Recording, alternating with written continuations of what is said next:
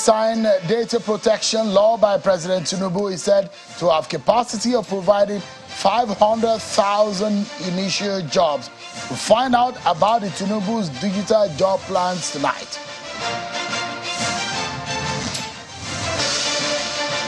And the National Security Advisor, Mr. Nuhu Ribadu, taking over uh, from his predecessor, Babagana Monguno, today in Abuja.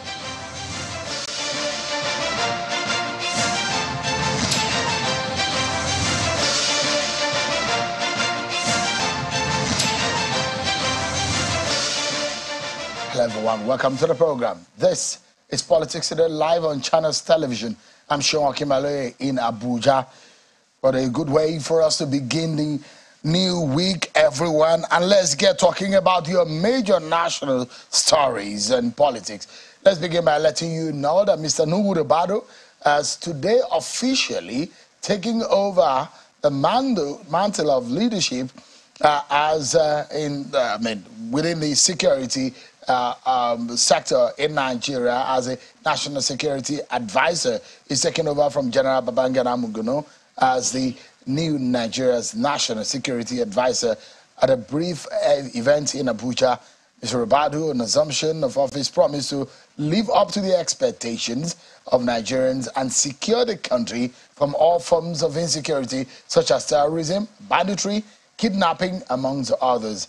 He said, quote, we will stabilize this country. We will secure our country and we will make Nigeria peaceful because we believe time has come for this country to enjoy peace, restore order and rule of law just like any other country in the world. End of quote. From that, we've got so much more for you tonight on the program. Of course, those of you who are looking forward to the Salah celebration, well, the federal government has declared a public holiday. We'll be bringing you details of that. Plus, I have a senator who abandoned the PDP. There is a reason why he did that. There's going to be governorship election coming in Edo State.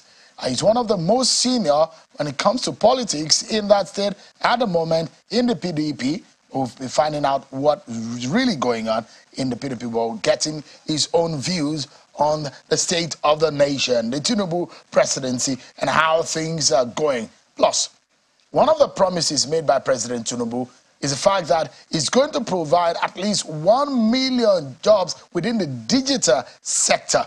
Now, with the signing of the data protection law, there is a possibility of an initial 500,000 jobs to be provided. Where would that be coming from? Do we really need some of these new agencies of government when we're talking about cost of governance? We'll be getting uh, insight into the protection of your private information and your data. We'll be finding out tonight on the program, so stick around with me. It's going to be uh, a, a packed program. But first, we need to check out your political roundup stories.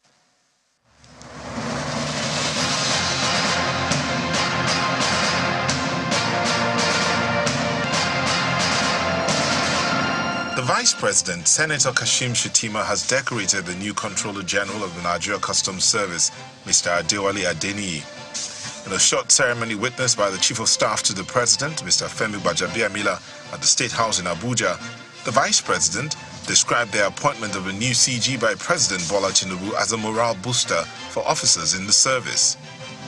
Speaking to journalists shortly after the decoration ceremony, Mr. Adeniyi expressed gratitude to President Tinubu for appointing a serving officer as the head of the agency. We intend to come up with a number of innovations that would help to uh, carry along uh, those stakeholders, those partners. Uh, we're going to leverage technology. We're going to try and use those innovative technologies to break new grounds in customs operations. The Speaker of the House of Representatives, Right Honorable Tajuddin Abbas, believes that unless Nigeria strengthens its rule of law and the fight against corruption, the country would not go anywhere. This was contained in a statement from the office of the Speaker, signed by his special advisor on media, Musa Krishi. According to the statement, the Speaker made the comment at a reception organized in his honor by the Nigeria High Commission in London on Sunday night. One of such ways, according to Honorable Abbas, would be to look at the living wage of workers. He wants it enhanced so the workers can get a sense of justice and fairness, which should encourage them to be honest and transparent in their dealings. Ahead of the November 11 governorship election in Imo State, the Labour Party candidate says the party will not allow political thugs to steal votes or disrupt the election process. The Labour Party governorship candidate, Senator Athan Achonu, stated this when he met with some Imo State indigents in Abuja. Senator Achonu is confident that the Independent National Electoral Commission will ensure the election is free and fair. I have a level of confidence in INEC, and I believe that we're going to be able to protect our votes. Nobody can tamper with our vote. A member representing Jajire constituency and former chairman House Committee on Finance and Appropriation in the 7th Assembly, Buba Tiroma Masio, has been unanimously elected as the Speaker of the Yobe State 8th Assembly. The new speaker emerged unopposed after he was nominated by Adamu Dala Dogo, a member representing Karasua constituency, and seconded by Buba Kalalawa. A group under the aegis of the Voice of the Voiceless has held protests at the headquarters of the Economic and Financial Crimes Commission, EFCC, Abuja, demanding the probe and immediate arrest of the immediate past governor of Zamfara State, Muhammad Bello Matawalle, over allegations of financial impropriety to the tune of 70 billion naira. The protesters, led by Mr. Nasiru Doka, urged the EFCC to reopen its earlier investigation into the former governor's tenure, which was aborted because of the constitutional immunity clause protecting him while in office.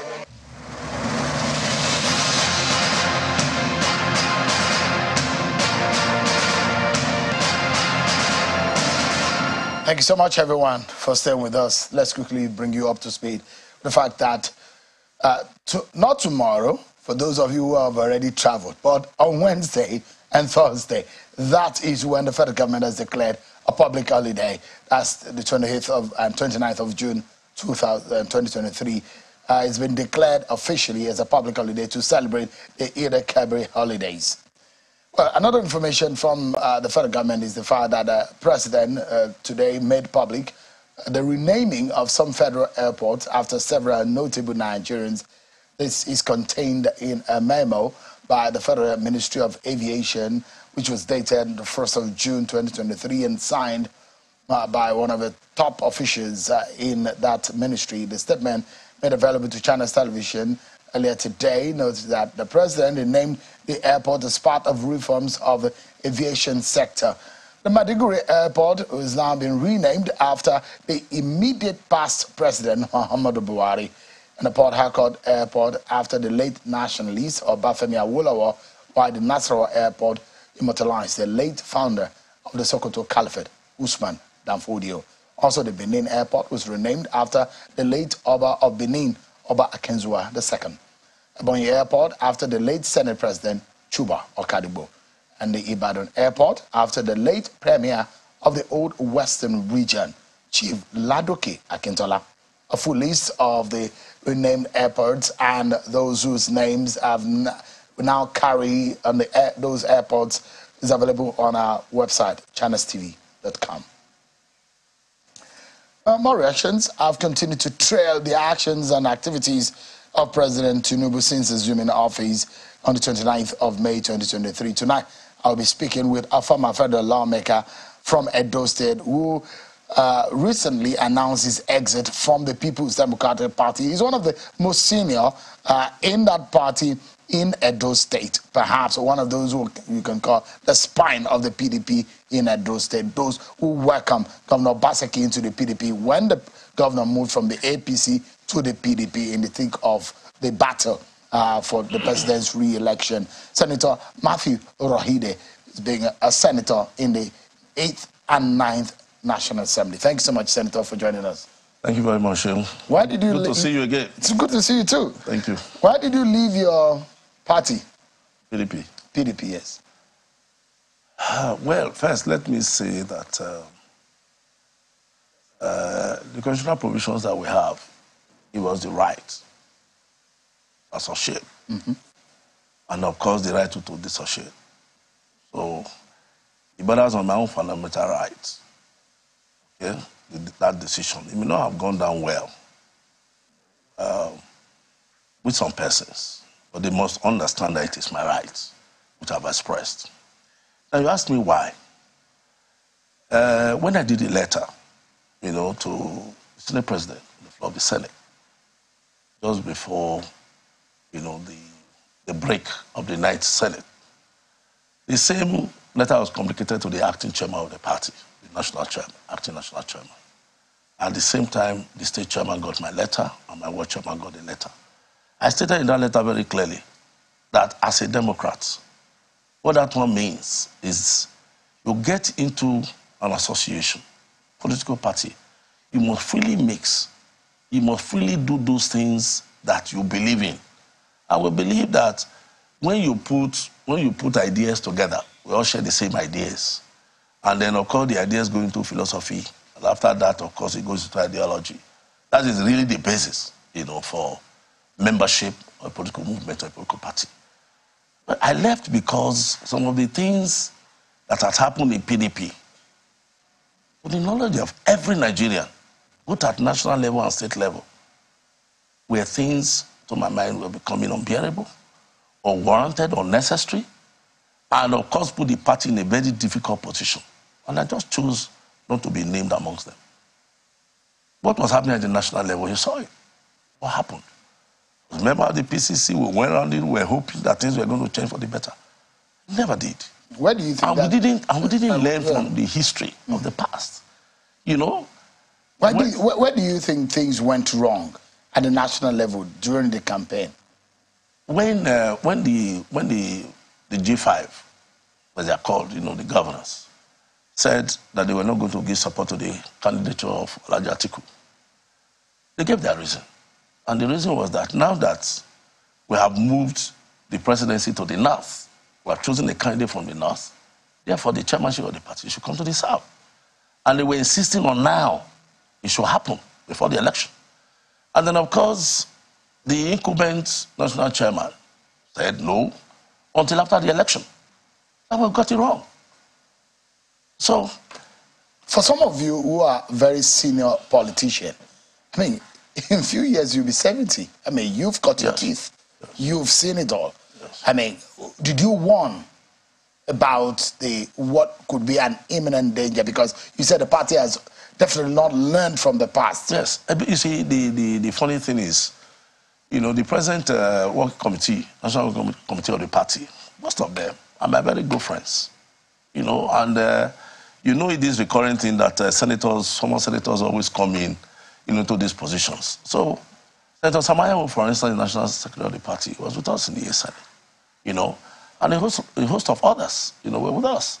The National Police Secretary, the National Auditor, all of them are friends. But you see, when you, when you talk in hushed tones, oh, nobody really wants to bear the cards, that's the problem. We said, look, this thing that is happening, can it not just be treated so that it can put, off, put us in a better state win the election? I mean, so and the, when when that one, that yeah. one missed, when when we missed that, was a G five sort sort of uh, a breaker, a backbreaker for the PDP for this election? Nobody nobody can underscore that at all. Not only the G five, a few other things, you know, in the PDP. For instance, the exit of, of Peter Obi from the party. You remember the point of exit for him was almost immediately after the primaries. You know, and of course, it fitted out that, um, you know, so the governors have said that, you know, the, the vice president or the vice presidential candidate must come from amongst them. And of course, he thought of it too that he didn't have a chance. So he needed to leave. And if you remember, when we had the Port Harcourt primaries, if you remember, you were there. Mm-hmm. You talked to a few of us. Mm-hmm. And that time, when he was when he was eventually picked, you know, after we got the candidate, you know, and Peter Obi was picked. Some of the governors, particularly Southeast governors, kicked, kicked against him. So when they now came again and they said, no, it cannot be Peter Obi, you know, of course, the man had to go to had to go to other pastors. But those who have said that if Peter Obi had remained in the PDP and in fact become the running mate to Atiku Abubakar, he probably would not wouldn't have made the kind of mark he made by being a, a Labour Party presidential candidate. Well, Do you that, think so? That is a very sound, sound, you know, school of thoughts. But we should have allowed it to happen because we are replicating what had happened in 2019. So if Peter Obi had remained, there were there were possibility of, of what we would have been. the vote that Peter Obi got, whether I mean from popularity or from whatever happened to him, the PDP, and leaving the place or not, he would have, of course, been able to bring in votes. So, and look at the difference. So the election was for Atiku's winning before sure, the election. Sure. But, Even the APC acknowledged it, that it was the division. Even the erstwhile president, you know, uh, uh, Muhammad Buhari, acknowledged it, that it was the division inside the PDP that cost our, you know, that cost our loss. So PD, you see, Atiku did not lose, like some APC members have said. I've had your very good brother Adams Oshiomhole on, on this platform who said, look, the APC, uh, the PDP did not lose uh, the election. Uh, I mean, I, am trying to remember exactly the way he put it now. I mean, sort of saying that uh, the PDP actually lost the election by themselves, you know, not because of anybody, uh, you know, uh, knocking them out, but they had lost the election even before the election. Well, of course, yes, that's what he was referring to, because the House was divided against itself. I mean, if you the look at thing, it, the with the benefit of hindsight, Senator, yes, with the benefit of hindsight, if you look at it, what do you think could have been done better before that election? Let me say this. Even though the governors were overbearing mm, by their action, insisting that the, the, the national chairman of the party, you know, step down. Of course, we know the reason. All right? Some of them felt bad too that maybe they were not made, you know, the vice presidential, you know, candidate. But at least we should have avoided any rancor that was going to arise, you know, from the decision to pick another person. And the only thing to do before the election was okay, good. If it will take me my exit, my stepping aside for the party to win, why not? Could Senator, are you to have stepped down for the sake of the ticket and the party? I, I don't know what persuaded him against. But knowing him, he's a gentleman. It's a, a very simple. If you were Senator, you, would you have stepped down? I would have stepped down. Hmm. Yeah. But what was important to the party was to win the election. Every other thing will fall into place. So it was an own goal for the PDP? I, I, I presume so. And what's happened there equally happened in the states, mm. even our state. In Edo? Yes. I mean, you had the same experience. Of course, PDP, PDP came third. PDP came third in Edo. But Labour Party... For the presidential candidate, uh, for the presidential election. The, the Labour Party became a force that even the PDP in Edo State could not withstand. Yes. And uh, this your resignation. Have you had a conversation with Governor Obaseki about it? No. I thought he was your friend. My very good friend. You're I one of the leaders who welcome in the Sure, sure. So I did. Have, have you guys? I mean, are you guys still good? Well, you see, let me say we are still very good. I don't know. I don't know otherwise until maybe I started to hear, you know, certain utterances so, from, from from from some of the boys, you know, that work in government house, you know. I mean, trying to cast aspersions on my own service in, National Assembly. I mean, my records are on unparalleled. You know, nobody really can take it away from me. So when they said, oh, Rogi, they didn't do anything, it only means you're just dancing to bad music. And because I'm wondering, closeness, because I know the role yourself and the likes of Dan Orbih and the, the likes yes. played yes. welcoming Governor Obaseki into the PDP in Edo State that during the re-election. So I'm wondering how Governor Obaseki is now whether you're leaving the PDP. So let me say this, you know, um, I want to respect, you know, the friendship that I have with the governor. This back about, you know, over 55, 55 years ago. And then, of course, I really must respect his office as the governor of the state. I have nothing against him and I will not have anything against him. Even if I feel offended, I would have gone to him. I don't believe he offended me. But what happened in the party was the irreconcilable difference that had existed in the party. That is very close to me. We went to school together. We fought for the PDP together. We built the platform together. And then, of course, I went out of my way, out of every other person, you know, to get my brother, the governor, okay, from what had happened between him and uh, Comrade Adam Oshiomhole to come to our party and use the platform. And we stood out. I was his coordinator in Edo South. All right, that turned in the majority of the votes, 81,000 votes difference. You know, because he won with 84,000 votes. We did everything for him to win. And then, of course, I was now caught midway. For my, for my friends that we build a party together, they said it was you that insisted on, on Governor Obaseki coming to the party. All right? They gave me the blame. And I told them, I have no regrets. So there are some people It was our not, shortest course. Some people are power. not happy with Governor No. Obaseki at the moment. From the PDP, mm-hmm. the, the, group we call the Legacy PDP, they are not happy with him because they believe didn't share power with him after mm-hmm. we won the election. And they now held me responsible. But there are and that was what cost. That yeah. was what probably The Commissioner cost. of Information in the PD in uh, in Edo State yes. was a publicity secretary of, yeah, of the PDP. Of the PDP. Yes, yes. And, and, and, there, are, there are a few people that I know who were in on initially in the PDP that are now working in government. So yes. you wonder where the grievance will be coming from. You, you see, I think grievance is actually genuine and they found it. You see, let me tell you something. There, there's been a pattern. You know, I mean, a tradition when you struggle for power, a party gets power. It doesn't matter who symbolizes the leadership as governor or as president. When you win it, you come back and include a party to share power. All right? That has been, even when Oshiomhole won the election in the state, our part of the group, we sat down and we decided who gets, who gets what. All right? And the whole thing was shared. All those who labor, including Chief Anenih, who was on the other side, he brought three commissioners to the government of. But in Governor Obaseki's case? Well, that is, that is what Dan Orbih, my friend, and the others are saying. We didn't sit down to share power. But now that you left the PDP, are you resigning from politics totally? No. Or you're just waiting to see what is going to happen? No, I'm just waiting. Uh, let me tell you something. I have tried my best to cause reconciliation. Let us forget about what has happened even if you are not happy with the governor or the way things have gone, it's not going to be governor forever. Okay? Everybody has a style. Let us tolerate. For me, I'm a moderate. Okay? And I said, let us just go ahead. Get these things done. Keep our party intact. All right? So that tomorrow, whatever it is, we'll still be able to fight and get the party to win elections. On the governor's side, I tried to, to let's bring these people, let us all come together. I kept on talking about the concept. Are, you, are you but hope? when they refused I got to the point of the election, mm.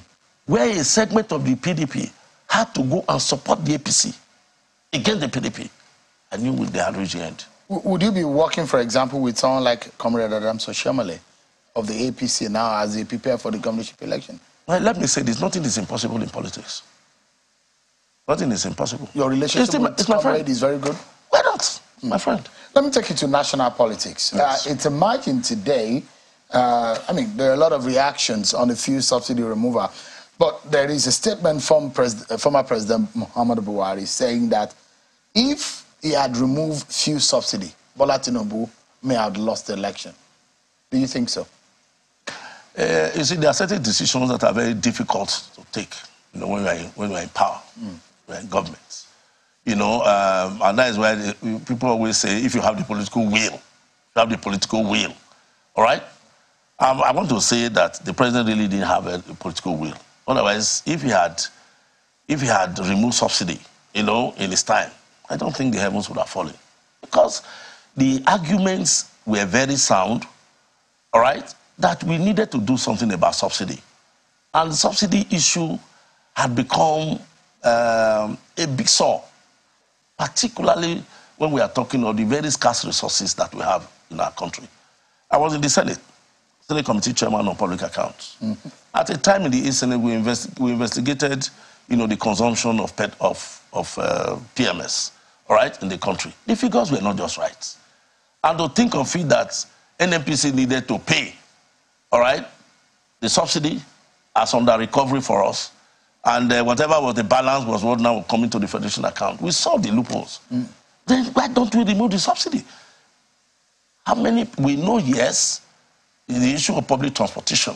That is where we are really talking about the greater majority of our people.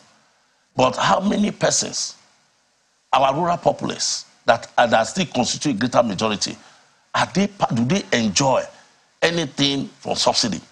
And also the sharp practices that were involved you know, in the payment of subsidies. There are a lot of people I mean, that, that the reports says that there are highly placed Nigerians who are involved in this racketeering with subsidy. I mean, the benefit for a few against the interest of the majority. I mean, why? How is it difficult to be able to bring these people to book? I don't know. I heard that uh, some persons are being prosecuted right now. Okay? Um, some time ago, I read in the papers too that, um, you know, former, you know, one uh, political party leader, the son is, you know, I mean, he's being prosecuted by government and uh, they're in court, you know. And if there's anything, until you know, we see the outcome, you know, of uh, such matters in court. We'll never know whether government really I mean, You are from the oil-producing region. Yes. And you wonder how devastating the effect of oil exploration is to that region. Yes. And there are those who, say, who live within this region who say they know, they see the people who are involved. They see how they are building the, the canoes, the, the ships, and all what have you that are being built to transport some of these uh, products out. And so the community uh, uh, involvement also is that the tacit involvement of leadership of some communities are also there. I mean, so this is far reaching into the fabric of the society, isn't it? Yes, it is. Let me say, um, in the Niger Delta region, I'm from Edo State. My, uh, well, my also internal district, Edo South Internal District, is the reason Edo State is, is named as a Niger Delta state. And I want to tell you too that um, all the activities that have been going on in Niger Delta is just a resort to self-help. No matter how criminal those activities have been. and of course, you cannot say there has not been collusion for high places. Okay? But I want to tell you, you know, with, with the advent of the Petroleum Industry Act, I was a member of uh, Petroleum Upstream in the Senate, and we went around, you know, all over the place looking at all the provisions, you know, in the five chapters that make up the Petroleum Industry Act. I want to say that until we start to, you know, express the provisions, particularly as contained in chapter 4, which have to do with the host communities. Until they start to get the benefit of having this natural resource, it's going to be a problem. Mm. Okay, so what they were doing, if you are taking all the money from the Niger Delta to go and build cities like Abuja and the rest, and we are seeing the luxury being flaunted by people who are not from the Niger Delta, where are the, where are the, where are the hen that is, that is laying the golden egg? Why? So they decided to, to, take, I mean, to resort to self-help. I know that one is illegal. But what do you do? Now, look at the act. We are going to now give 3% of the, of the running cost of the, of, the, of the investors, okay, to the host communities. And then, of course, with the 3% that are going to go to the host communities, we are, we are estimating that between 550 million to 800 million dollars will go to the host communities if we're managed at least to be able to meet some of the desires that were, you know, corporate, you know, um, uh, social responsibilities of the companies. But the devastating parts of it, like gas flaring, the Act provides that 100% of what is recovered or what is accruable as penalty to the IOCs and the NOCs and other investors in the region. That one should be given to the people to meet up with the deficit in their health standard and, of course, the remediation of their of the environment. So if these ones really are now being exercised and the people are happy, you don't no longer expect the local communities mm. to collude with people, either from within or outside the Niger Delta, you know, in this nefarious. Let, let, let, me anchor on this note. I mean, with your participation in the Public Accounts Committee and the, the debt burden that this nation has on its neck right now, there are warnings that the, the Tinubu government must be careful yes. in the manner in which it approached the issue of borrowing yes. Uh, compared to the, our revenue. In fact, there is a mark that the DMO has placed to say if we must survive yes. as a people in this country, our revenue must get to that point. Yes. Um, and I'd like you to kill two birds with a stone and just in about a minute uh, thereabout. Yes. What is your assessment of the one month of office in office by Bola Tinubu, and uh, in view of the very devastating or the very terrible state of our economy and the lack of buoyant revenue generation, where do you think we can turn to? Uh, so let me tell you, borrowing cannot help us. For the borrowing? Borrowing really cannot take us to the uh, more desired. We're already in trouble anyways. Now, listen, I mean, if you are having 50 trillion, You know I mean? People have been banning figures of 7 trillion or 70 trillion. Okay, dead body from this country. my experience in National Assembly and the things I pursued very seriously were things, of course, that will make us to look inwards. I mean, everybody has said it, and it is true that the problem of this country is revenue. The problem of our country is not about borrowing money or even expenditure. Okay? We have tried to put extant acts and regulations in place to check expenditure. But the one of revenue has always been a problem. For public accounts, every year the Auditor General report come. Ah, okay, and I mean, glory be to God that between 2015, which was a transition government between Buhari and, and, um, and Jonathan, we were able to look at the auditor report of this country in my committee. And we took it up to 2019, which is the last. I want to tell you, with you, with every modesty, since the advent of the Fourth Republic in 1999, Public Accounts Committee never submitted any report for consideration by the Senate plenary. I did it all. I cleared it all. No wonder if you, if you watched our valedictory session. My vice chairman in my committee, you know, uh, Senator Hadejia, you know, stood up and said, the one thing I have been able to gain in the fourth, in the fourth, I mean, in the ninth Senate, is the way Senator Urhoghide, the chairman of our committee, discharged his duties to break the jinx of submitting reports, the general's report, to the Senate, and the Senate adopted it and passed it. The same thing Senator Olujimi stood up. All right? Senator Kwari stood up and said so. So it is it's not even to feel, make me feel good, cool. What we have done, it is because of the provision of Section 88 and Section 89 of the Constitution. The National Assembly should expose corruption. If we expose corruption, now you have been able to bring all the transactions of government, okay, in a, in a, in a um, I mean, financial year.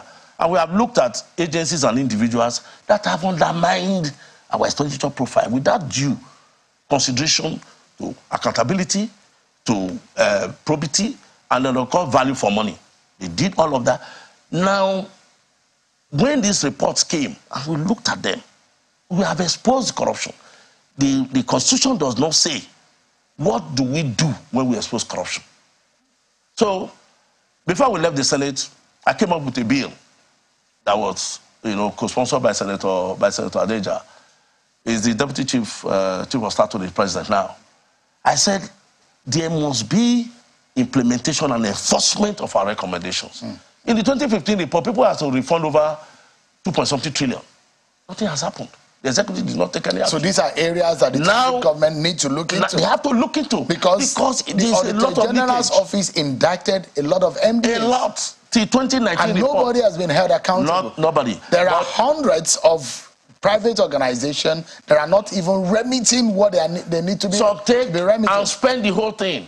When, of course, they are fully funded by government. So the report and, and, and, the blueprint is there for the Tinubu government. Of course, I've submitted my reports now to 2019. And Senator. of course, the Senate has equally passed it to the executive. I've done my job, but I just pray to that. You know, they look at those recommendations and implement them. But otherwise, one thing a lot of Nigerians may not be happy with is the ways and means and how you and your colleagues handled it. But I want to tell you something about ways and means. Mm. A lot of us were against it. I was against it. I was against ways and means. Number one, it was a violation of the provision of the CBN Act. Okay? And then you needed to accumulate. CBN Act itself is per year 5%.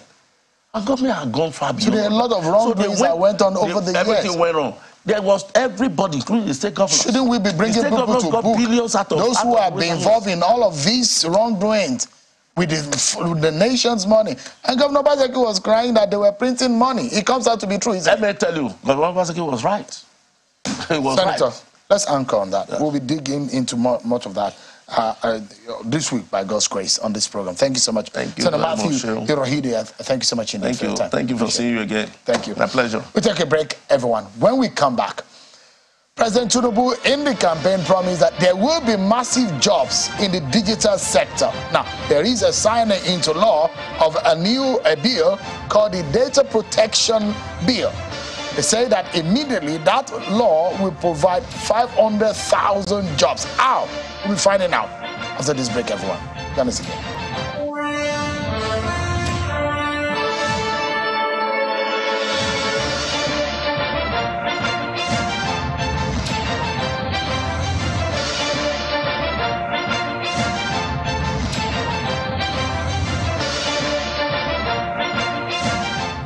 Thank you so much. Welcome back, everyone. Part of the new law signed by the President Bola Tinubu is the Data Protection Law, which he assented to on the 12th of uh, June. That is a Monday. Uh, the new law established the Nigeria Data Protection Commission, which saw the automatic fusion or transition of the Nigeria Data Protection Bureau into a commission and to be headed by a national commissioner and a CEO. The institution is said uh, to uh, that it will about 500,000 jobs are expected to be created through the training of data protection officers and licensing of data protection compliance organization to offer services to data controllers and processors. The new act is said to be one of the strategic ways of meeting the campaign promise of Tinubu to create 1 million jobs in the digital economics uh, sector. Tonight, I'm being joined by the National Commissioner of the Nigeria Data Protection Commission, Dr. Vincent Olatunji. Thank you so much indeed for joining us tonight on the program. Thank you for having me. Yeah. First and foremost, uh, because we've had conversation around uh, cutting cost of governance and uh, duplicity and multiplicity of, uh, of uh, government agencies at a point that Nigeria cannot afford it because we don't really have the money to run a bogus government size, the kind of size of government that we have. So the question is, why another commission or agency of government? Shouldn't this just be um, a department under the Ministry of Communications or something? Uh, thank you very much. You know, globally now, we are talking of global digital economy. And the global digital economy, obviously, some organizations that are no more relevant in the global digital economy will go, while others that are relevant in the global digital economy will, will, will, will come up. And it's all about reskilling and retooling in order for us to be relevant in the global digital economy. For instance, I studied geography and planning, my first degree, my second degree, and even my PhD. But when I discovered that I wanted to work in the digital economy sector, I did my uh, advanced diploma, advanced diploma in computer studies. When the issue of data protection came up, I did my certification in data protection, and I'm a certified public-private partnership strategist. And now I'm even a member of Forbes Technology Council. So moving from geography, core geography, to technology, to privacy, to a lot of things. So this is so a new area that the world is, is still moving towards. towards. So, yes. so and, and, you look at some of the top major uh, economic cash cow in the U.S., for example. You talk about the apples of this world uh, the Meta, the Facebook, Instagram, Twitter. These are cash cows. These are the ones that are driving the major economies around the globe. And so this is the area where Nigeria needs to go. Absolutely. And this is the global trend. But are we ready for it?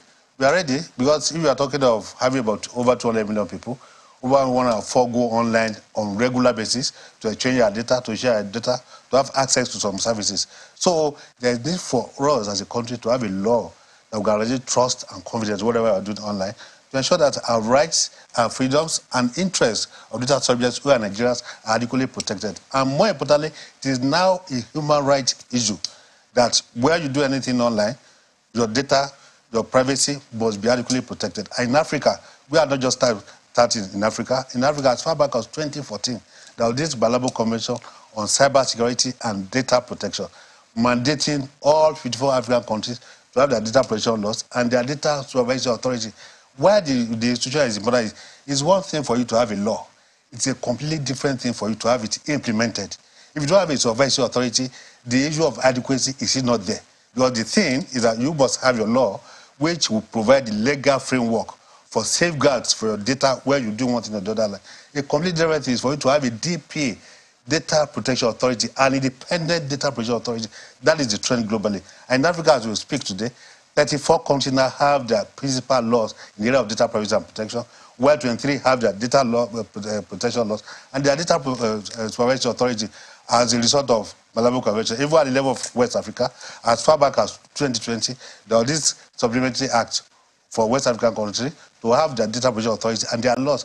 And one thing that is really important and original to us in Nigeria the model that we have adopted is at no cost to government. It's going to be a self-funding organization in How? Where will and revenue generation. Where will you be getting the funds from? Now, the model we adopted, I said PPP. I told you I'm a PPP strategist. Mm. So when we started this implementation, the idea that I brought was that we should have a PPP model for so many reasons. One, the level of technological development in Nigeria. Two, our population, our size as a country. It would be very difficult for a small government office to be able to effectively implement the regulation that we started with. That was why we started with the PPP model, where we license DPCOs, Data Protection Compliance Organizations. What do they do? They go to organizations to offer compliance as a service for them to be able to comply with the provisions of the law. Through that, organizations where they offer services to will file their annual report with us. And during the course of filing, they pay annual filing fee to us. And licensing DPCOs is not cheap. It's not free. They have to pay their licensing fees. The grants and fines that will definitely come up. Between when we started and now, without a law, in less than one year, we were able to bring in over 200 million naira to government. That was where we didn't even have a law. Now we have a law. We have an instrument to operate.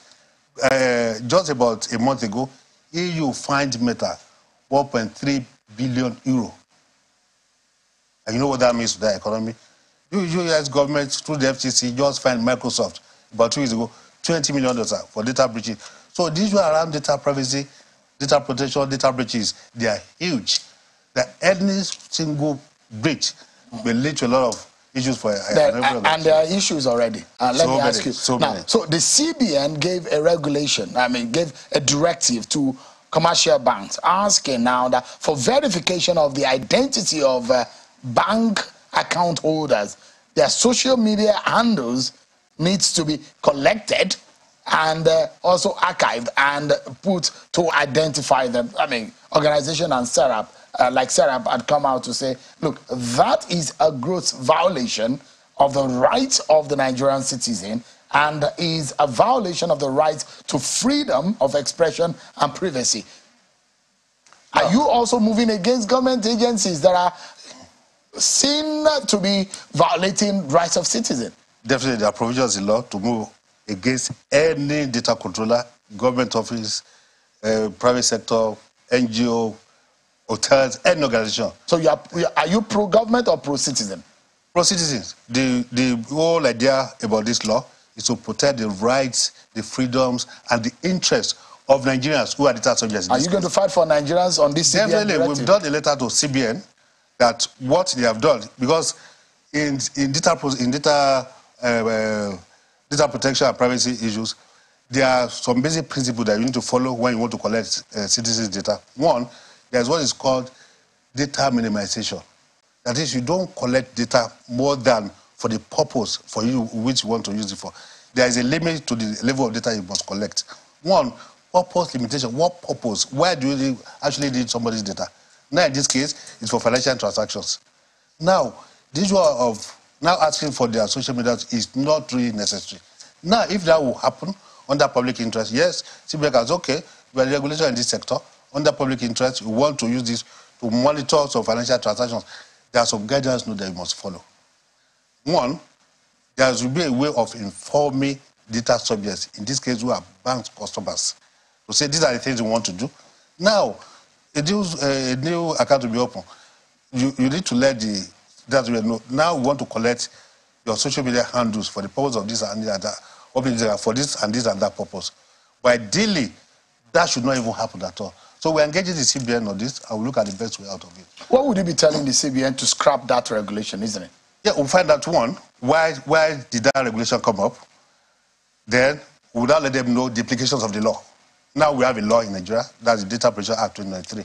These are the implications. But aspect and of the law- the good black Yeah, best practice, yeah. You don't collect data more than what you need. So there's no po- point collecting such data. So we'll definitely take them up and we'll, work with them and look at the best solution out of it. And please let us know what the outcome of that. There's a huge agitation. All and, over, uh, all over, all I'm over. very sure fact, we because receive calls, uh, mails from all over the world. Tell you, now you have a new law for data protection. and Now your CBN is bringing out this.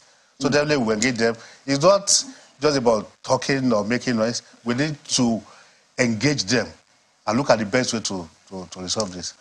there are cases in some part of the world where, I mean, it's said that some government agencies eavesdrop and listen to citizens' calls. And, and that accusation also came up in Nigeria too. And you heard about the case of Cambridge Analytica and how data has been manipulated yeah. for political uh, and security reasons. How protected are Nigerians about this? I mean, uh, you probably would have seen some violations by the government in the past that we have seen and heard an agitation from the Nigerian people. What would you like to say to that? Yeah, I think we, we've moved from where we were to a new era now. There's a paradigm shift now where we didn't have the law. But in fact, it's even a constitutional provision. Section 37 of the Federal of the Constitution of the Federal Republic of Nigeria has amended. Speaks to the issue of your privacy, your right to privacy.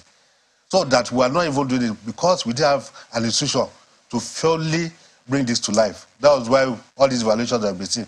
Now that you have this act, which is derived from Section 37 of the Constitution of Federal Republic of Nigeria, we are now fully out to ensure that these rights, the privileges and freedoms are adequately taken care of for, on behalf of Nigerians. As one of the security, uh, security, uh, security agencies that was said to have uh, acquired um, an equipment to be able to listen to citizens' calls are you aware of, uh, has there been any kind of petition from, from Nigerian citizens to say these are their worries? Because when that kind of thing happened, Nigerians will question, Nigerians have raised, raised their eyebrow about some of these issues. Now, the thing is, in the law that we have now, even if that will happen, maybe for national security, for instance, that, okay, for because of some uh, security issues, they want to get some information, they want to get some data. There are procedures, guidance of which the bureau is already, already working out.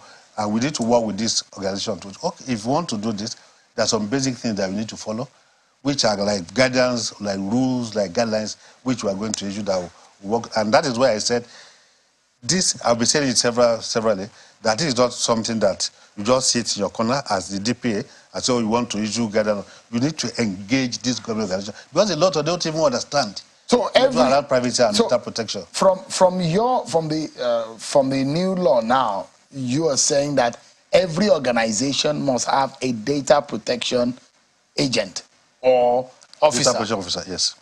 That's what is going to happen. Yes. So it's mandatory. It is mandatory. Section 32 of the law says, as a data controller of major importance, you must have a resident DPO, data protection officer.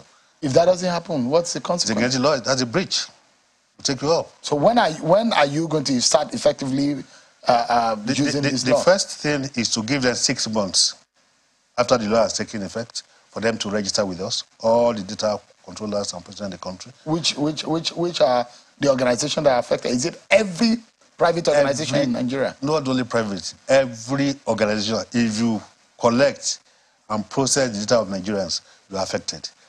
Uh, public sector, companies, oil companies, telcos. banks, telcos, insurance companies, hotels, hospitals, pharmaceutical companies, industry, manufacturing industry, everybody. And those who, those who text us and uh, advocate for things that we don't need. That's a, is that a breach too? It is. It is. If they profile you, that you will likely your spending ability or your spending uh, preference may be in line with this area and the profile you, and you can, well, can citizens sue? Yes, you can. You can. Now, you can report to us. one of your officers, uh, Mr. Bamigboye, has said that uh, the data protection law will immediately create about 500,000 jobs. Where are these coming from? That's one interesting thing about this digital economy sector. You know, part of the campaign promises of Mr. President was that he's going to create 1 million jobs from the digital economy sector alone. Now, in Nigeria, there was a survey we carried out. We have over 500,000 data processors and controllers in the country.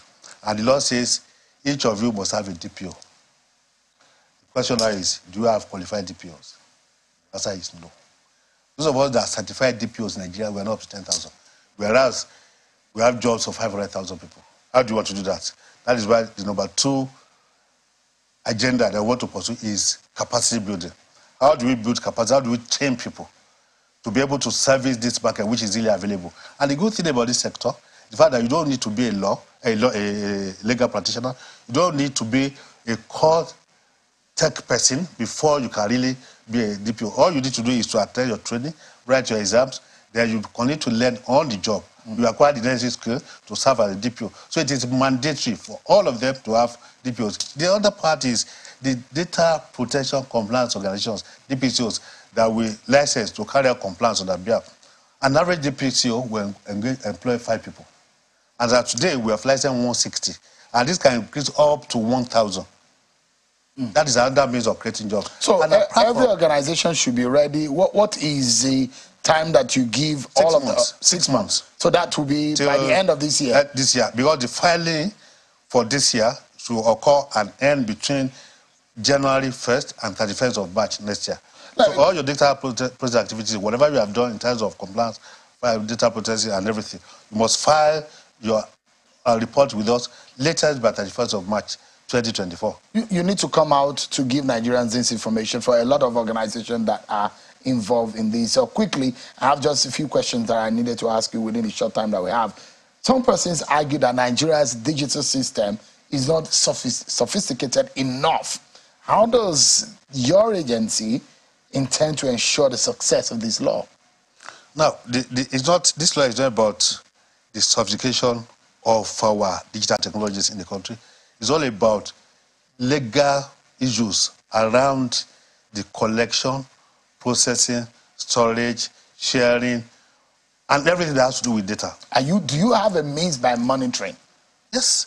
Breaches? I, I just told you that we have, let's say, DPCOs. No, apart from that, do now, you have digital way of monitoring? Yes, uh, we are available on all social media platforms, Facebook, Instagram, Twitter, LinkedIn. You can report to us there. Then on our portal, there is a, a, place where you can lodge reports and we take it up immediately and we, we invite where any organization is concerned. And between when we started and now, even without a law, we've investigated about seven banks. And three of them have paid fines. And as much as we don't want to announce these fines so that it won't lead to job loss or lack of trust for these organizations, what we tell you, pay remediation fee. We take you through remediation for a period of six months. We monitor you. All we're trying to preach is a culture mm of compliance. So your agency is not able to independently and remotely detect breaches. No, are you? No, you have to until it has to be reported. It has to be reported. Are you trying to go to that level where you can be able to detect and remotely monitor who it, it, and it, it, it's because not only on on Nigerian soil that people breach this kind of law. People from any part of the if world. If it happens, it has to do with somebody, a group mm -hmm. of people. So the person or that group should report to us, they will take action. If it happens, I just keep quiet. We can't. There's something we can so do. So you still need the citizens to the citizens because it is their right. We are talking about them now. It's all about the citizens, not even government now. Mm. It's about the citizens, either an individual, a group, or a church, whatever. It's all about that. So this is civil and criminal. It can be civil, it can be criminal. Yes, so yes. It, you, you have criminalized yes. this in some yes, way. because people can even be jailed. Hmm. All right. Dr. Vincent Olatunji is the National Commissioner and the CEO of the Nigeria Data Protection Commission. Thank you so much. I wish you the very best in your endeavor. Thank you. Thank the you CBN uh, and uh, those uh, unwarranted calls and SMS, Nigerians really would like to see uh, what you are doing about it. Definitely. Thank you so much indeed for coming. Thank you.